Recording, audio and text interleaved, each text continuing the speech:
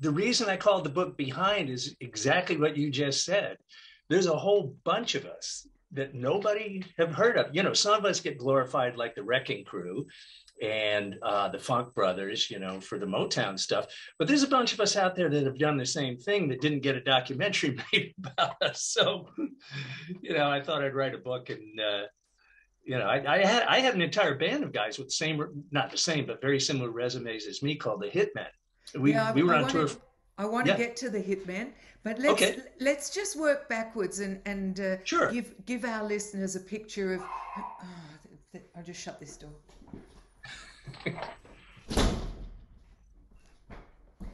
Sorry. Um, You know what? Hold on. Let me just turn you up a little bit. Your volume's Sure. a little low. I want to make sure I hear you. Say something now. uh, one, two, three, four, five. Very good. Okay, gotcha. Right. Let me get back into my assigned chair. Look at all your records behind you. Amazing. Um, so let's just let's just work backwards a little bit and give our audience a taste of who you are and some of the people that you've played with and made records for. Okay. Um, let's see. Started off in the 60s with a band called the Critters. Um, I don't know how big the Critters were in Australia. We probably sold a few records, but we had uh, three big hits Younger Girl, Mr. Dieingly Sad, and Don't Let the Rain Fall Down on Me. Certainly remember Don't Let the Rain Fall Down on Me. Oh, man, great. Well, I wrote that one. Did you? So that, that's a good one. Um, from there, I did a, a brief stint with the Crazy World of Arthur Brown. Uh, I was Arthur's bass player for a tour. That was a very interesting experience. he had um, that he had that one hit wonder fire, if my memory Yeah, serves exactly. correctly. Exactly, and he he exemplified it on stage with his head on fire for most of our shows. Really? Oh, literally, he he would wear a um, kind of a metal headdress with a lyre shaped thing on the top that they would dip in jelly gas, and he would go off stage. They'd light the thing, and he'd have it on his head, and he'd come out. If you look at if you look him up on Google, you'll see pictures of it, and his head is flaming. You know, Wow. yeah, yeah, it's a crazy show. to, whatever happened to him? He's around. He's he's in his late seventies now. I don't think he's retired. His website looks like he's still booking dates in, in England. So, eh, you know, the amount of makeup he wears, no one's going to know how old he is. He's just crazy Arthur Brown. you know, the god of hellfire is ageless. Amazing. That must have been an incredible time with him. Uh, it was pretty wild. It was it was very going from the critters, which was kind of easy listening, mellow kind of stuff, to that. And I was the guitar player in the critters, and I was the bass player in Arthur Brown. So for me, it, it was a vacation because if you're doing lead guitar, you've got to really stay pretty sharp. Bass for me, when it's just uh, uh, uh, uh, fire, uh, uh, da, da, da, you know, it's just two notes. It, was easy and fun, so Right. I loved it. Right. You know. Anyway, you after from there. well, after there, I was gainfully unemployed, so I uh, I decided to get a job at a um, guitar store, and my boss had this this interesting girlfriend, a, a very tall, beautiful lady named Carly Simon. Uh, she was my boss's girlfriend at, at the guitar store. So Carly and I knew each other years before uh, she made a record. At the time, she was living with her sister in uh, New York City, and she was a secretary. So we became friends. We hung out. We'd sometimes do songs together and goof off at the store, you know, when she was waiting for Dan to come in and go out on a date. And eventually she left Dan and I left the store. And she called me six months later and said, Hey, I got a record deal. You want to come play on my record? And I said, You kidding? Of course. And, you know, that's the way I've always heard it should be anticipation. Eventually, You're So Vain, Let the River Run. 21 years I did with her. Wow. We're still friends to this day. How Um, and amazing. and a wonderful thing is she is now nominated to be in the Rock and Roll Hall of Fame. Yes, I did. I did read that, and well Yeah, yeah, yeah. deserved So- and, and uh, uh, long overdue.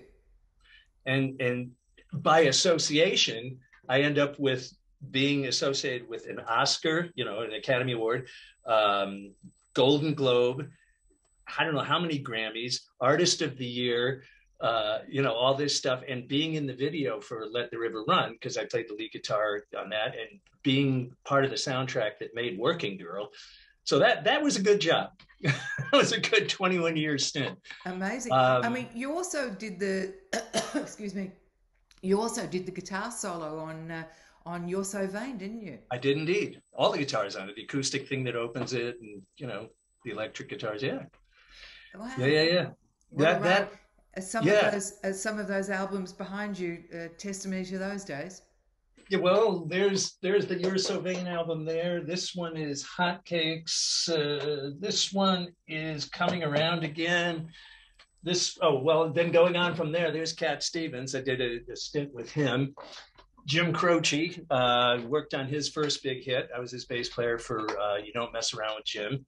Uh-huh, um, those song. are some more of the artists that I've worked with, and then just odd. Hmm?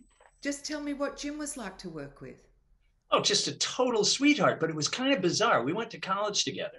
We went to Villanova here in the States in Philadelphia. And I always knew him as his music working with his wife, Ingrid. And that was very folksy, mellow, sweet kind of thing. She often sang the lead and he just did harmony for her. So that's what that's what I was expecting when I got into the studio. And then he said, okay, you know, after, you know, hi, how you doing? Great to see you again. Da, da, da, da we sit down. He says, "All right, here's the song we're going to do today." And now it's boom, boom, boom, boom. And I said, mm, "That doesn't sound like Ingrid and Jim." Okay. Then he starts telling me the lyrics, and my favorite description. I used to describe this when we were doing the show, doing it in our Hitman show. The song was about bad people doing horrible things to even worse people. You know, it was you don't mess around with Jim, and it was talking about chopping people up and shooting them in the head. And, really, that was, I didn't never knew that. Oh, listen to the lyrics to it.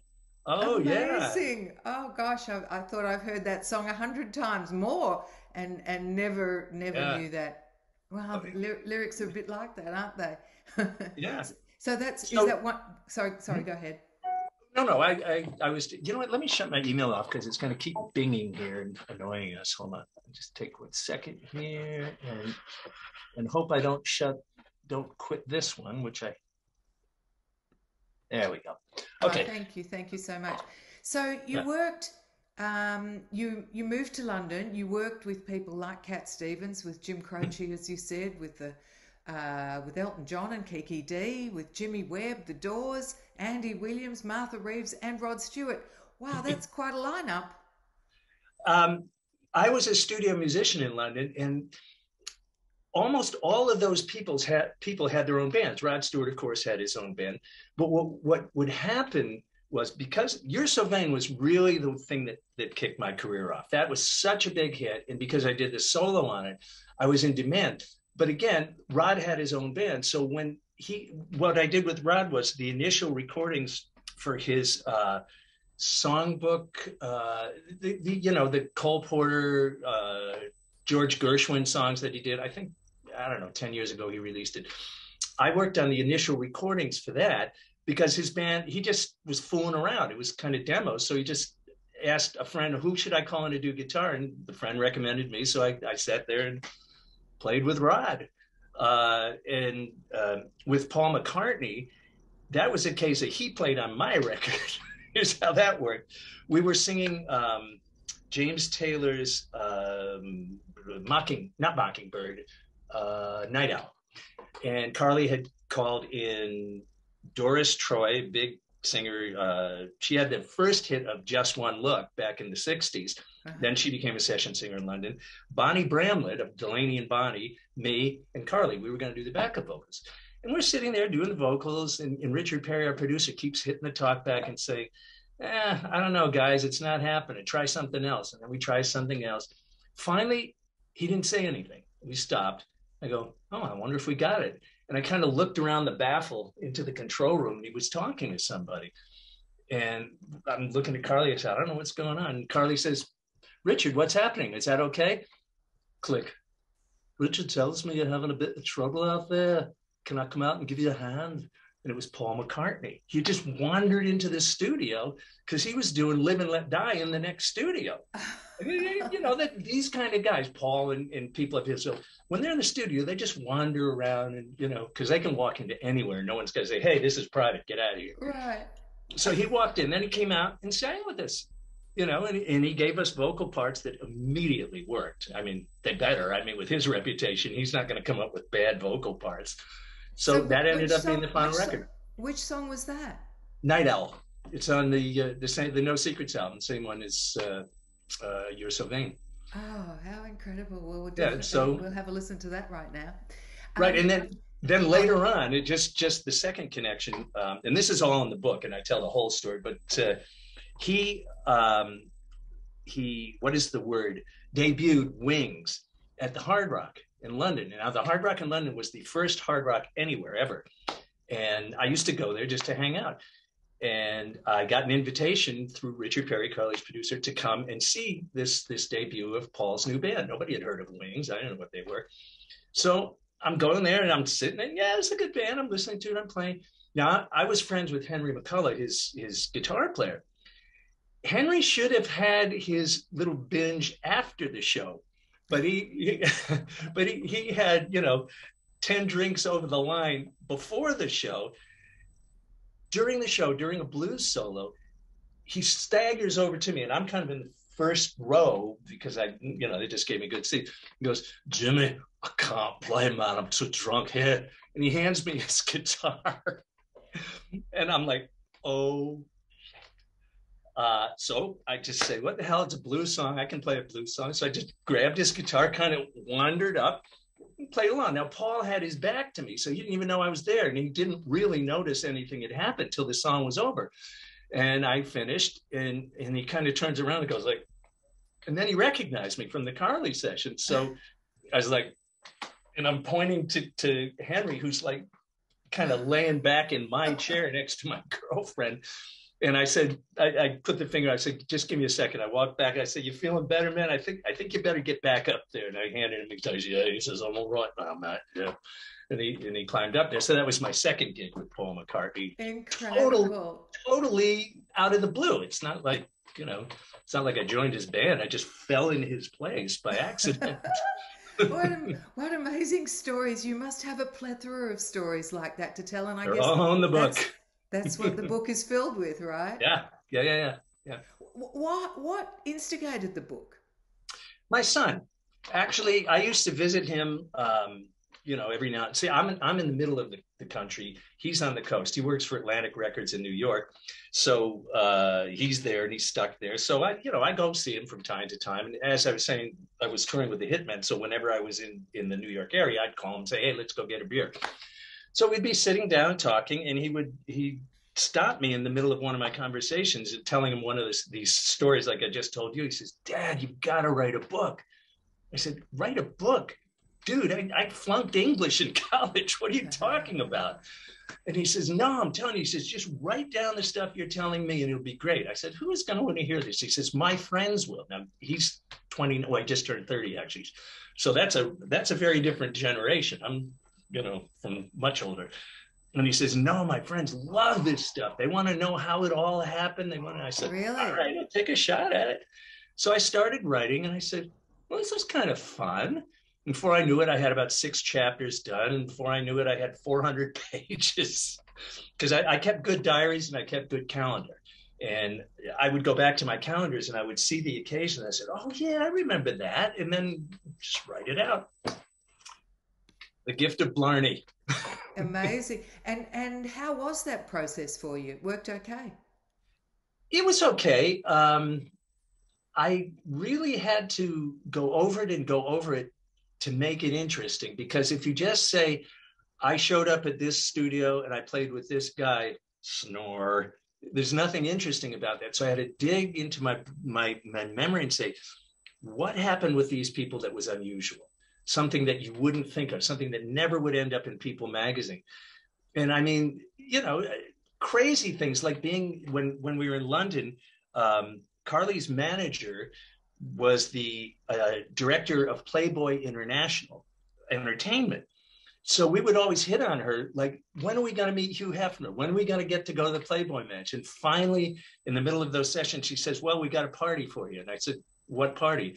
And I would have gone to any party because it was London. I didn't live there at the time. We didn't know anybody. So yeah, let's go to a party. Who cares? And she says, uh, Victor Lowndes. I said, who's that? She says, oh, he's the head of Playboy in London. I went, oh, that Victor Lowndes. okay. So here I am at a Playboy bunny party, 23 years old with testosterone coming out of my ears. And I don't want to tell the whole story because it, it's really wild. But Andy Newmark, our drummer, just before we left, hey, says, Hey, you want to have some fun? I said, Sure, what? He said, Here. And he shows me this little piece of paper with two little blue dots on it. I said, What the hell is that? And he said, It's acid, man. You want to do it? I'm like, I've never done that before. He says, Oh, it'll be cool. Mm-hmm. So I did it.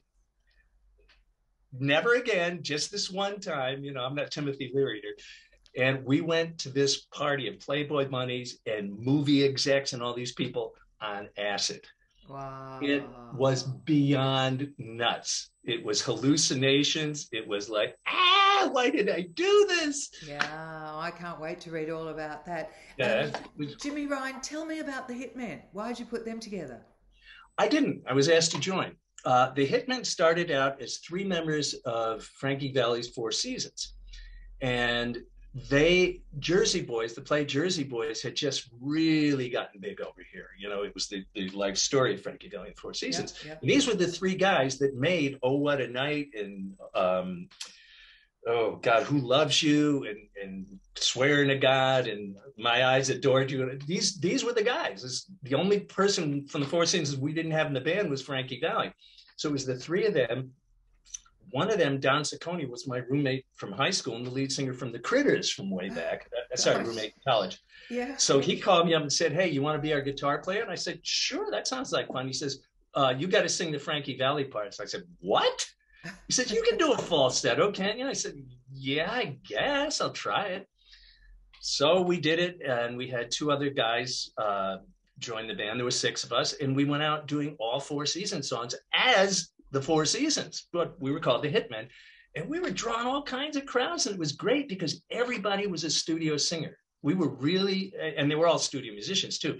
So the harmonies were perfect, and they really were the Four Seasons because Jerry Polci, our drummer, was the guy who sang "Oh What a Night." He was the guy who did the record, so it was the real deal.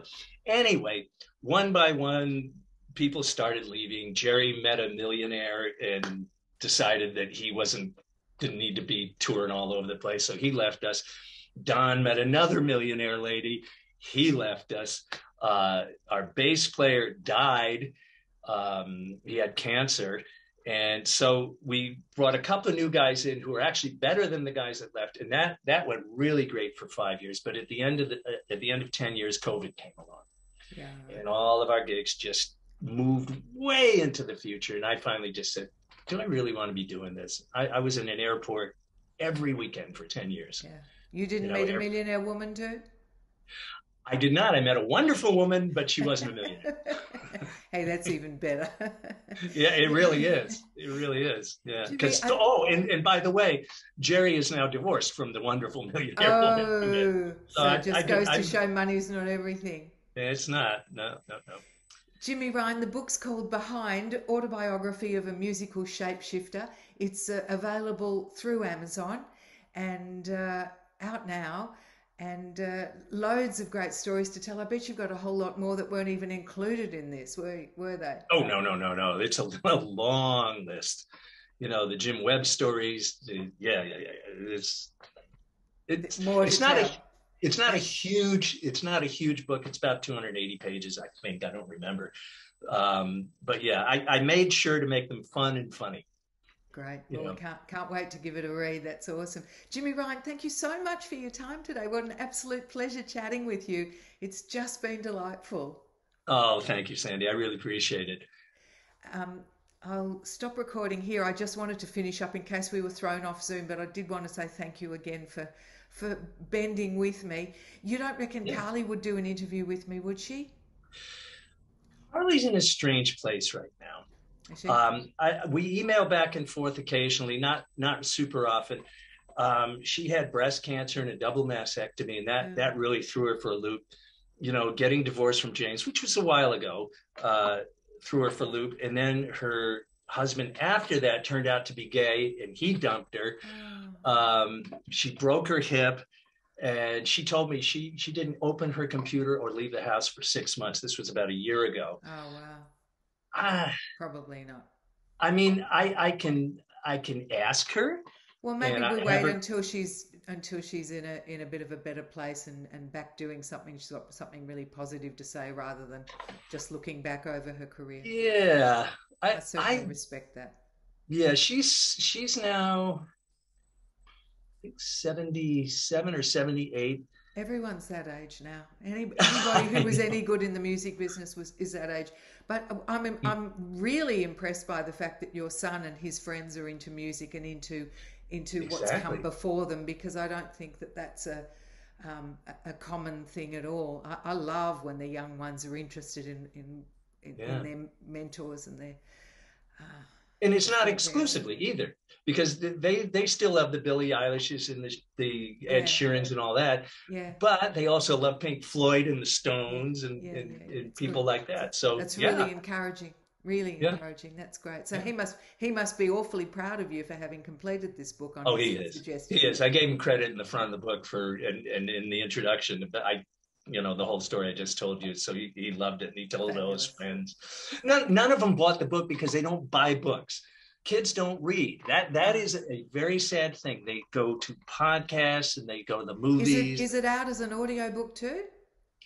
I've started an audio book and when I initially started this, my publisher said, wait on the audiobook. Let's see how the thing does. And we're still kind of in that state, but I've done about six chapters. I probably will do an audiobook. The only thing about the audiobook is there's no money in the audiobook. They're much what about cheaper. As a podcast? Podcast, there's money, there's money in podcasts, and the kids are certainly getting into podcasts. I'm doing a bunch of podcasts, but they're more like this, you know. Yeah, no, no, but, but you could do your own, you can host your own podcast with your own stories and bring in all the people that, well, even some of the people that you're talking about to talk to them to reminisce about uh, about the the incidents that you're talking about. You know, That's do you, very interesting do you remember idea. this? Do you remember that? And how was it when we did when we went and, and did the acid that night? And you remember sure. you couldn't play and you brought me up, and and then you could keep pointing it towards the book too. But just do a, a little podcast series and and put that up. Andy Newmark would be way into that because uh, you know we we he auditioned with me for Sly and the Family Stone, and he was oh, the acid really? guy. And, oh wow. yeah, yeah. Wow. Oh, oh that's the funniest stories. That is the funniest story in the book. I, I call it. It's a family affair.